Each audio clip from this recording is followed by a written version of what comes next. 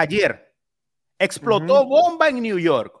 Bombazo, un bombazo netamente informativo que involucra nada más y nada menos que a los New York Yankees y a Juan Soto. Extensión de contrato es el tema. Escuchen bien, hasta ahora vamos ahí, ¿no? Sí. Yankees, Juan Soto, extensión de contrato. ¿Qué pasó? Pues resulta que habló el que tiene que hablar. Nosotros, que Hal Stenbrainer. Mm. Porque ese es el que tiene la última palabra. Brian Cashman puede sugerir lo que él quiera como gerente. Pero al hablar de Juan Soto, es hablar de billete. Y al hablar de billete hay que hablar con el propietario del club.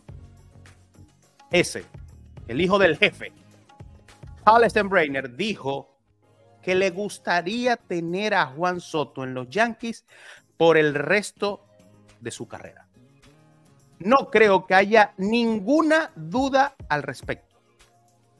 Esto es lo primero. Primer gran paso, Jesús. Primer gran paso. El dueño de los Yankees dice que quiere a Soto de por vida en New York. Esto es lo primero. Aquí vamos, ¿no? Aquí vamos. Ok.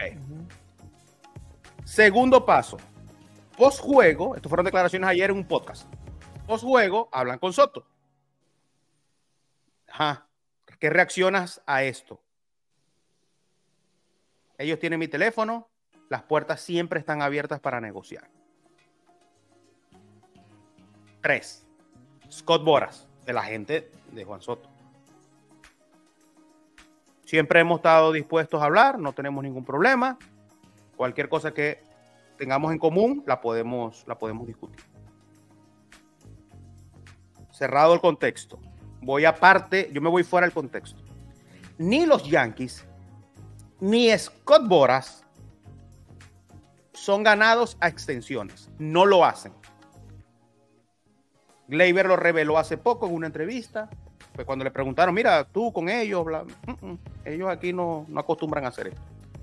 No lo hicieron con Aaron Josh. Lo dejaron ir a la agencia libre. Esto es del lado de los Yankees. Y Scott Boras, como agente, le sugiere siempre a sus jugadores. Prueben la agencia libre. Prueben la agencia libre. Eh, ¿Qué tal? ¿Qué te parece? ¿Cómo lo ves? Eh, ¿Qué sientes? Eh, porque Harrison Brainer sí dejó claro que él estaba dispuesto a que durante la temporada pudieran hablar de una posible extensión de contrato de Juan Soto. A ver, el tema de, Soto obviamente es un tema diferente porque es un jugador diferente y aquí no quiero caer en esta clase de de, digamos que de, lugar común. El lugar común. Pero yo creo que la situación como se plantea con, con Soto, eh, yo creo que tampoco tienen que los Yankees darle correr, dejarle correr tanta. ¿Por qué? Porque si tú permites que Soto vaya a la agencia libre, obviamente el tema de la cotización allí es donde realmente va, va, va a ser su peso. Lo que tú decías, no es lo mismo el valor de un jugador ofertado por un equipo que cuando hay dos, tres o hasta cuatro ofertas al mismo tiempo. El tema es que, cuando yo decía en su momento, y mucha gente me malinterpretó, decía que yo le deseaba lo peor a Soto, no, yo decía, hay que esperar que de alguna forma la temporada corra un poco más para que de alguna forma se pueda dimensionar el impacto de Juan Soto con los Yankees. Bueno, ya ha pasado más de mes y medio y ya uno más o menos puede, puede interpretar de que es el jugador ideal para los Yankees se ha adaptado muy bien, es el jugador más regular, el bateador, obviamente que por su característica es el jugador más regular de este equipo, que de alguna forma le aporta muchísima consistencia y ya digamos, su valor está allí. O sea, yo creo que el valor de Soto, yo creo que estos, estos meses yo creo que han sido más que suficientes para de alguna forma uno poder tasar eso.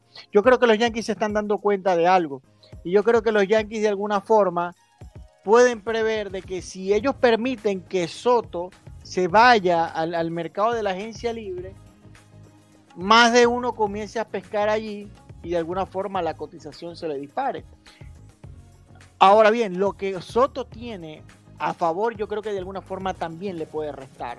Y yo creo que el tema de Scott Boras allí, yo creo que es Y yo creo que más que todo es por la, la, perspectiva o lo que nos queda de la temporada 2023. O sea, no muchos equipos cerraron con Scott Boras. Y muchos de los jugadores que él representó al, al final y al cabo, o al menos a la primera de cambio, no han mostrado ser eh, un buen negocio o no han mostrado ser lo que él de alguna forma ha tasado por ello. Solamente por citar uno, eh, el caso de Blake Snell, que lo mantuvo reservado hasta lo último y mira lo que ha pasado. Y así muchos otros.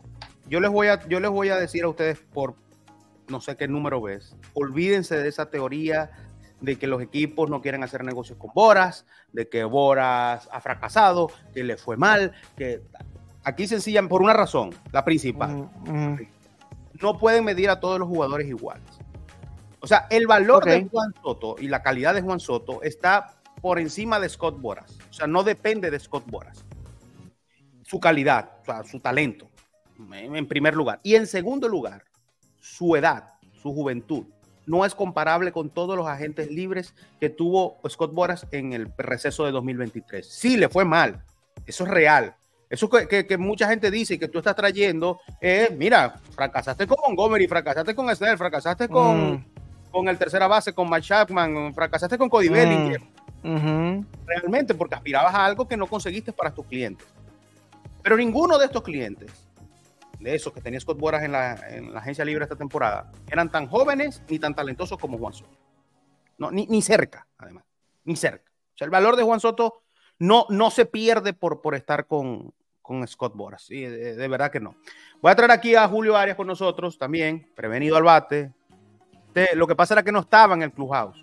Se salió y, lo que hizo fue, bueno, venir, por el uniforme rapidito y venir a entrar al juego al día de hoy. Julio Arias con nosotros también. Este, ya que lo vetó el productor hoy. No sé qué pasó no, ahorita. No, no, no, no, no, puede ser. No puede ser. que esto tenía que ser un acto de magia que no sucedió y, el productor que se olvidó o se fue para la tasca. Fue para la tasca también. Bueno, lo traigo yo entonces. aquí no sé, no, no, yo no entendí absolutamente nada. Aquí está. aquí estamos, aquí estamos. Creo que por llegar tarde al, al dogado me vetó el manager. Estás multado, estabas multado, estabas multado, estás multado. primero. El primer, programa que coincidió con Julio. ¿En serio? Sí, sí, sí. sí, sí. Bueno, saludos a todos. Cosas de viernes. Saludos a todos y le tomo la palabra con respecto a Juan Soto, llegando y corriendo. cuando tú haces una estrategia y no te funciona, tú la tienes que cambiar. Scott Bora hizo una estrategia que el año pasado no le funcionó. Que él diga que él prefiere ir a la agencia libre, no quiere decir que él con Soto, que es algo que hoy podemos decir que es algo excepcional, y que está fuera del, valor normal, no cambia la estrategia. Más cuando el que te está dando la primera palabra es el dueño. Porque si hubiese empezado Scott Boras, ya estuviéramos hablando este, de otra cosa. Pero es que el que la primera palabra la dio Holstein Brainer, que dijo, me quiero sentar. Pues. Entonces, cuando ya te llama el pero es que, pero es que, pero es que yo creo que ese, e, e, ese, e, ese dado de, de, de interés siempre ha estado. O sea, Juan Soto desde el primer momento yo quisiera estar aquí toda la vida. Entonces él se ama, él lo ama, él quiere, el otro tampoco. Pero ya, mijo, pedirle matrimonio, por Dios, casate con él. No, pero es que ya va. Es que al que le conviene, precisamente por lo que tú decías, Jesús, picar adelante es a Brainer. Es a los Yankees. Yo creo Porque en la agencia libre, Juan Soto va a ser más caro. Les va a costar más dinero. Eso no tengan la menor duda. Ellos van a tener que ir a buscar al jugador en subasta. ¿Qué, ¿Qué paso acaba de dar? Brainer no le dio esta declaración a un podcast eh, del, mundillo yankee porque, ay, se le salió. No, no, no. No, no, no, no, eso tiene que Entonces, ¿qué pasa? Que es que ahora pusieron la pelota del lado de Juan Soto y de Scott Boras.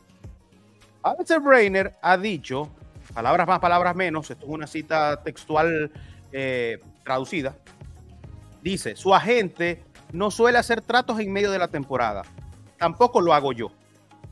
Estos son posiciones firmes.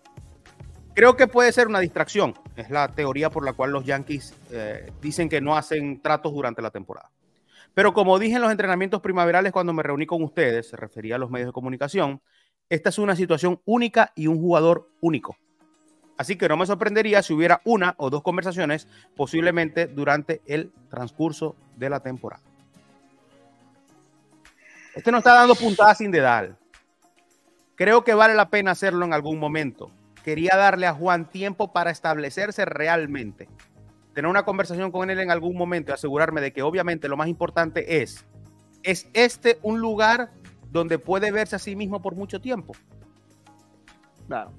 Bola allá, mira, toma. Está en tus manos. Bueno, pero, pero eso es lo que quería Scott Bora, ¿no? o sea, si tú te pones desde el lado, desde el lado de, de Scott Bora, dice, ay, eh, ahí viene la bombita esa. Ahora yo voy a pedir. Porque él se abrió, pues. Eh, se abrió. Sí, pero Jesse ahorita, ahorita está quedando como un príncipe delante de la, de la legión yankee. Claro.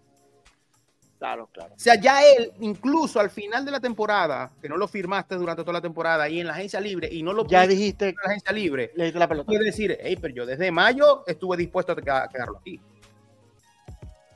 Así no haga ningún otro movimiento, ya esto es una cuestión. lo mejor de esto es que no va a dar de comer, hermanos, por larguísimo tiempo. O sea, que ya haya venido, no la especulación de la que nosotros hemos venido hablando, que cuánto vale que es bueno firmarlo, de que lo deben hacer, de que tienen que esperar, de que si Scott Bora fracasa, de que si todo era que una mera especulación, ahora tiene cierta base en unas declaraciones y no unas declaraciones de cualquiera, es el propietario de los Yankees. O sea, esto es, esto es clave. La respuesta de Soto, por cierto, no sé si habéis escuchado esa parte, Julio, Saben mi número de teléfono y todo. Saben dónde llamar. Para mí, me estoy enfocando en jugar béisbol. Mi enfoque es tratar de ayudar al equipo a ganar. O sea, a mí, a mí lo, único que me preocupa, y creo que por ahí es donde viene el comentario de Steinbrenner, es la cera del frente. Porque si hay alguien que tiene dinero para invertir, es la cera del frente. Entonces, no le da miedo tampoco. No le da miedo. Y no solo eso, que ya sabe el impacto que tiene en la ciudad ya saben que, o sea, lo que tienen que cruzar es la calle. ¿Entiendes? Entonces, irse a los Mets, que tienen dinero, que tienen un supuestamente nuevo proyecto, pero sabemos que no existe ese proyecto, pero que no les importa gastar en lo que sea. Obviamente, no le, a Cohen no le va a importar invertir 600, 700 millones en Soto cuando ya sabe el impacto, sobre todo porque sabemos la cantidad de dominicanos que hay en, la, en Nueva York, ¿no? Sí, estamos de acuerdo, estamos de acuerdo en eso, pero fíjate que hay una parte en la que yo no estoy muy, muy sensato con esto, por el lado de Soto. O sea, Soto tú le puedes garantizar todo el dinero, pero parece que él, busca cosas más allá del dinero. Estamos hablando de un tipo que dejó sobre la mesa 440 millones de dólares. Sí, sí correcto. Tienes que convencerlo deportivamente también a Juan Soto.